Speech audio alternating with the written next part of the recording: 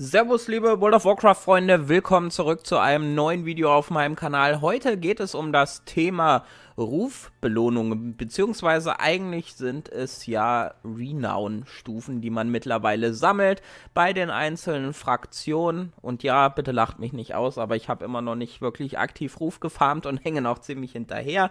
Aber ich bin mir sicher, bis 10.1 kriege ich die Dinge auch noch voll. Aber es ist ja so, dass wenn ihr eine Stufe aufsteigt, bekommt ihr ja teilweise Belohnungen. Ähm, manche davon sind einzigartig, wie dieser Wappenrock. Also mehr als einer bringt euch beispielsweise nichts.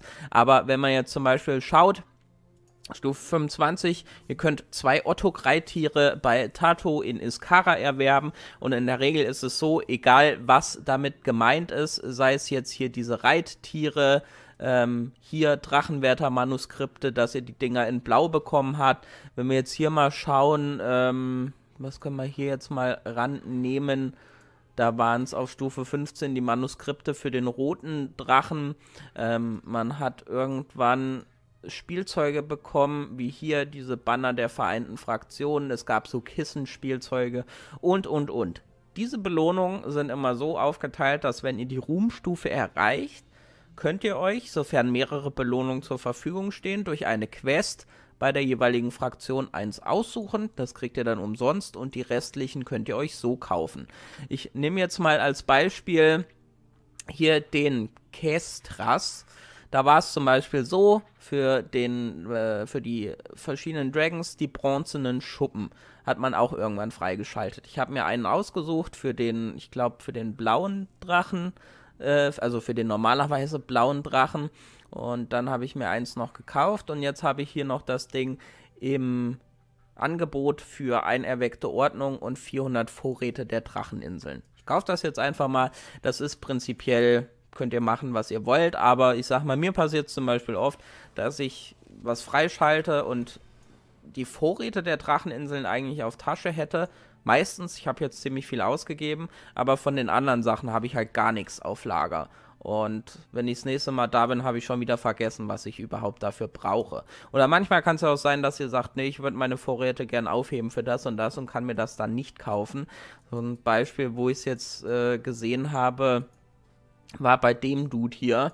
Also da gibt es so viele Ensembles, aber ich gebe bestimmt nicht für eine so eine doofe Flasche in der Hand 600 Vorräte aus. Und nee, das ist mir einfach zu teuer. Aber ihr könnt das ein bisschen umgehen. Die meisten werden das höchstwahrscheinlich wissen. Aber wenn ihr mit euren Twinks, sofern ihr welche spielt, auch nochmal diese Ruhmstufe erreicht, gehen wir jetzt mal davon aus, jetzt hier nicht unbedingt 25, das wäre ein bisschen too much, aber Gucken wir mal hier beispielsweise. Hier schalte ich mit Stufe 13 Drachenwärter-Manuskripte frei. Da kann ich mir wieder eins umsonst auswählen und die restlichen müsste ich kaufen. Wenn ich aber mit meinem Twink dann auch Stufe 13 erreiche, kann ich mir wieder eins umsonst aussuchen mit dem Twink. Und dann nehme ich dann natürlich das, was ich noch nicht habe. Und so theoretisch, ich habe jetzt mittlerweile fast den vierten auf Level 70.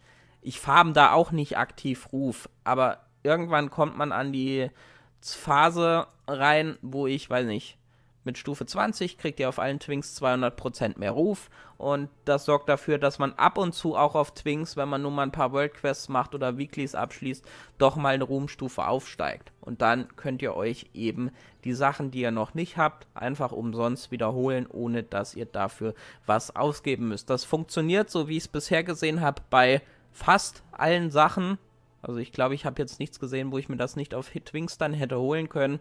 Und ähm, ja, ist eine, wenn ihr eh mehrere Chars spielt, kostengünstigere Alternative. Ihr müsst halt nur die Zeit investieren mit einem Twink.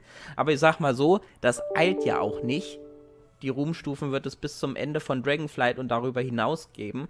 Und selbst wenn ihr mit jedem Char, weiß nicht, 10 Rufstufen in einem Patch-Zyklus macht, kommt ihr am Ende des Addons trotzdem auf die Max-Stufe und könnt euch den ganzen Bums noch holen, den ihr vorher nicht bekommen habt. Ich hoffe, ich habe das halbwegs verständlich erklärt. Damit danke an euch fürs Zusehen. Wenn euch meine Videos gefallen, lasst sehr gerne ein Like und ein Abo da. Es ist leichter hergesagt, aber ihr helft mir damit wirklich enormst weiter, um diese Arbeit aufrechterhalten zu können. Und damit danke fürs Zusehen. Bis zum nächsten Video und reingehauen.